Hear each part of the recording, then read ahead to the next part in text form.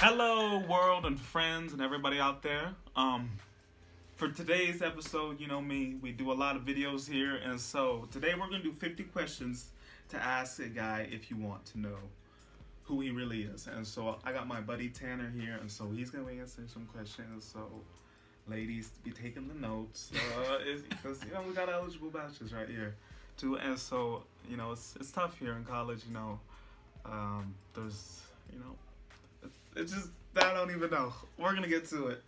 Yeah, Um, let's do it. It on. Okay. So, question numero uno. If you could go anywhere in the world, where would you go and why? If I could go anywhere in the world.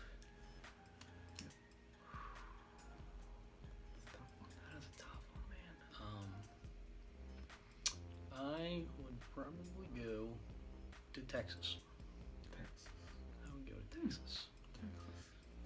You still have the sweet freedom of the United States because I've been abroad before.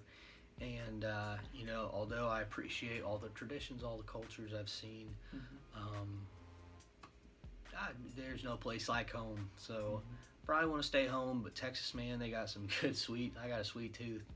Texas is the place to go. And, uh, seems like everything's just more fun down there. Okay. That is for sure. Huh. All right. Okay. So, uh, um, uh, you can have that question. Um, so we'll we'll go on to the next one. Should we? do- Question number two. Question number two for you, JD. Okay. Are you a morning person or a night person?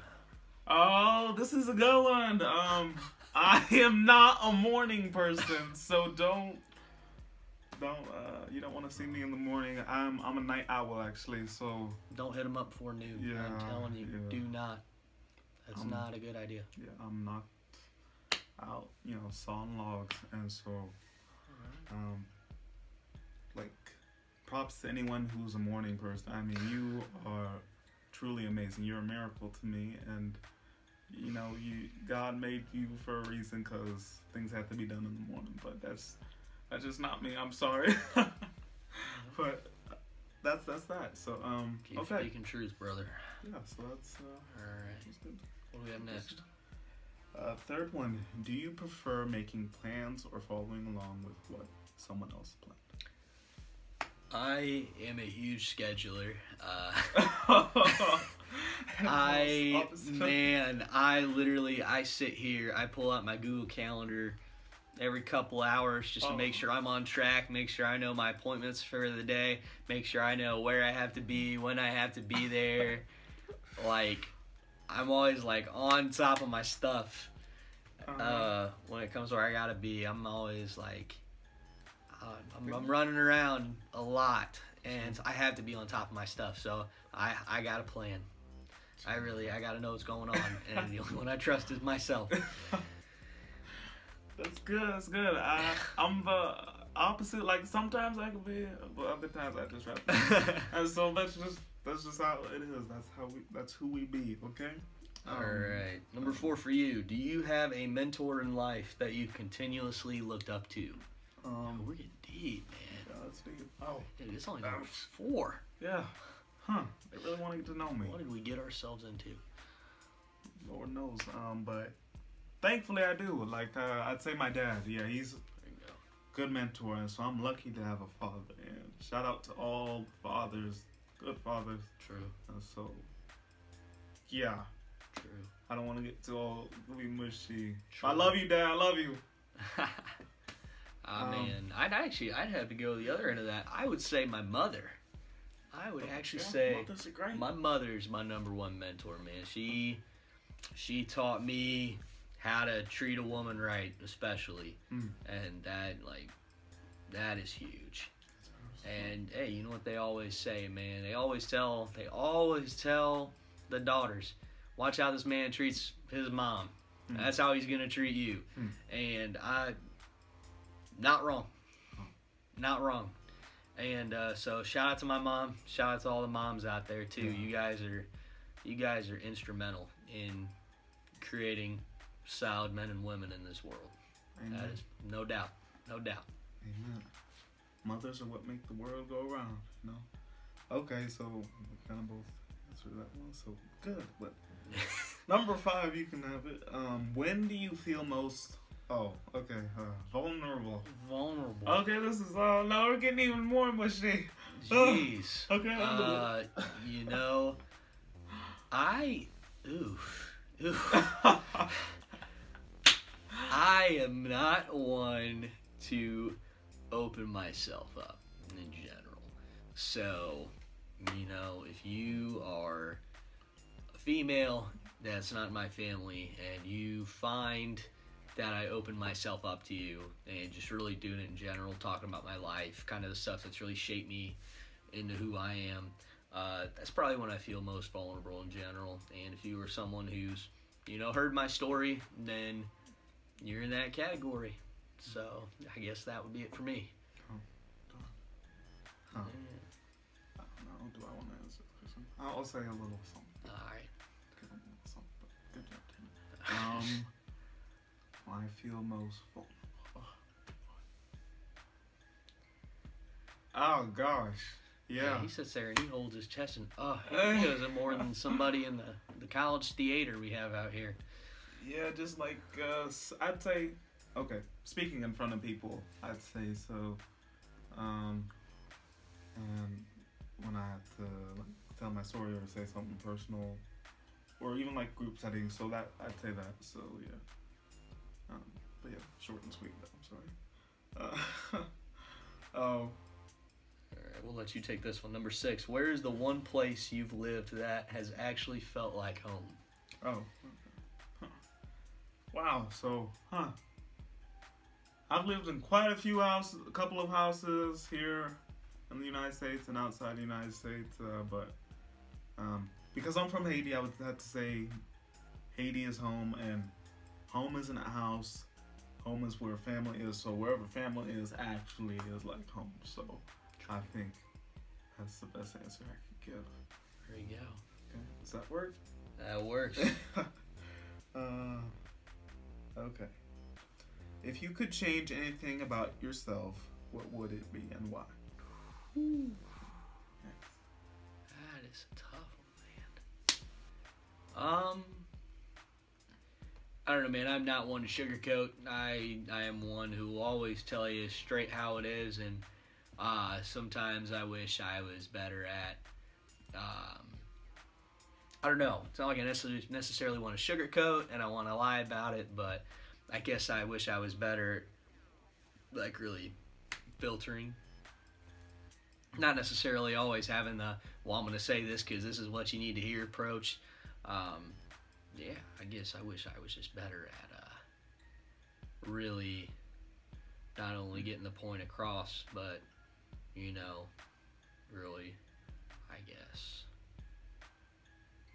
you know and I- i guess you, you just really have to find that balance between you know sticking to how it is and sugarcoating it and i guess i just need to not be as blunt and yeah if i'm being if i'm being brutally honest that would be it Okay, that's really good. That's good. That's deep. you know. Um, so the next one, did I skip one? number eight no you're good what are you most proud of accomplishing Oh my gosh.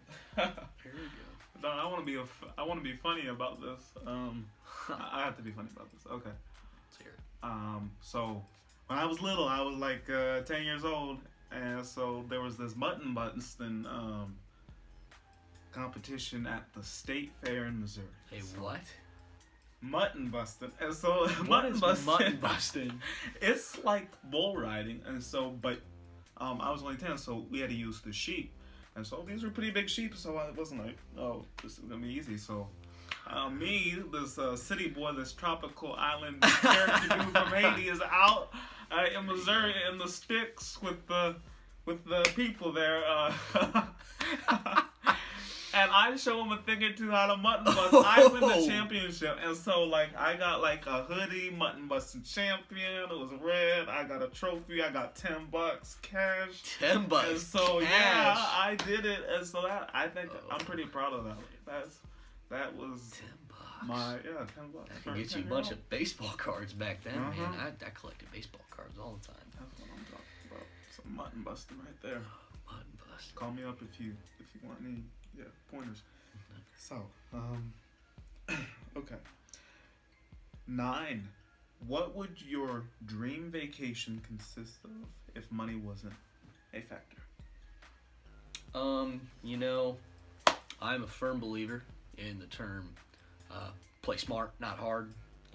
And so I could really take this Mm. question, and if money wasn't a factor, then that means this vacation could last forever. yeah. So it'd be a lifestyle, Ooh boy. Yeah. which, if Yeah. I had to live this lifestyle, I would just tour baseball parks. And Okay. I love baseball. I'd hit some other sporting events when it's not baseball season, Mm. but that's that's how I'd live my life. That is it's what I would do Okay. because no two games are the same. So, uh, you get the the sweets, I bet, like the box seat. the- oh, you already nice, know. uh, You already you'll get the meals provided. Okay. Bring the family, bring the friends. It'd be great. That'd be lit. Be lit. Absolutely That's cool. Be know. Number ten. Can you honestly say you love what you do every day? Yeah. And Yeah. what is it you do every day? That's yeah, breathing in that. Yeah, they're, they're getting to know you here. Yeah. They're getting to know you. They gotta know what you do every day. Yeah, so I'm a student athlete, and so I'm here at Taylor, um, living the life. You know, Most great certainly. friends. Most certainly. Mhm. And also, I'm most certainly not a student athlete. I am far too lazy for that, um, as you probably figured out when I said I live by the uh, the play smart, not hard approach. Um, it has brought me success, um, but I guess I could step it up in the effort a little bit. If we're, if we're being honest, I could step it up in the effort a little bit. But yeah, waking up every day, love. There Um, you go. But I'm not a morning person. Um, so All right. uh, eleven. What is one thing in life that makes you feel alive? This one, A folks, is easy, easy. I 100% love calling games. Uh, I'm actually uh, a sports announcer Mm. here at Taylor University.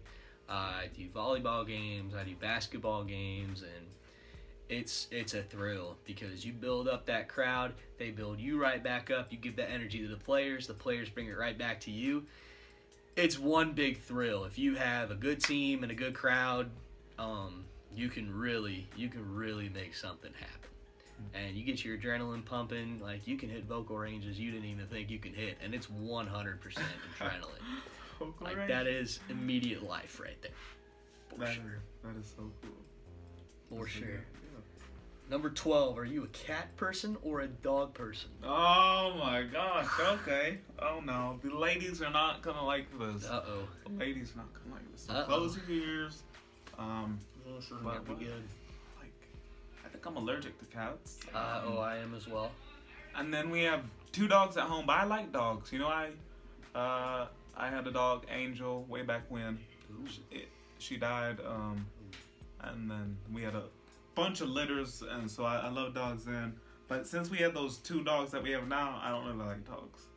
Ooh. Um, and cause I'm kind of a germaphobe sometimes, like dogs can just be a little ugh, for me. So I'm sorry, I'm sorry, but like if if, if it's someone else's dog, I'll be like, I'll love on it and I'll be like I'll like show it respect because you know they're majestic animals. I mean like they're, they're cool and I like them once, but it's just the two dogs I have now they made it bad for me. Also, so that's that, and then germophobia or whatever. So whatever. That's all.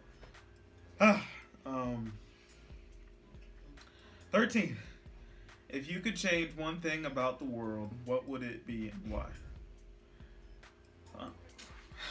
I would honestly, I would get rid of the mainstream media. I would 100% get rid of the mainstream media because what they have absolutely done is the goal is now they will not report on what necessarily is the most important, but they report on what will rile people up, what will get them reading. And there's a lot of false information in that. So people have different views. You see this in the political world now, where people's views are shaped off of mainstream media and not from actually having conversations, actually learning about the world itself, about the country. And you have people who are growing to hate each other literally about what they're just reading on Twitter when they wake up in the morning. And seriously, like that makes the world a sucky place. Hmm. Like you don't even feel like you can have conversations and get to know people anymore because you automatically just want to identify with that category that you read on social media or whatever mainstream news outlet and which kind of causes you to judge and think you know people before you really even get their name. So, I guess that's just kind of something unfortunate that's really been trending over the last few years, and uh, it's something I'd love to see changed, for sure, for sure. All right, 14. If you won the lottery, what is the first thing you do with your money? Mm. What? Ah. Because it's a Christian school, I would tithe first. But, um, yeah, so, nah. I- Yeah, I would. I would. I would. Charity. Do charity, everybody. Um, but I would, uh, probably. Hey! What are you doing here, bro? Say hi to the. Say hi to the. Say hi to the folks. This is, uh, uh, the freshman. Hey people. Uh, Andrew. I do not know that guy. cool, yeah, He seems yeah. like a good guy, though. I am. He's a Seems like a baseball player. player. Yeah. Okay, all right. Yeah, so he- he's. Speaks my language. Um, I dig it. yeah, so I would. I, I yeah. So that's the first thing I would do. So that's all. I think. Yeah. Alrighty. Short and sweet.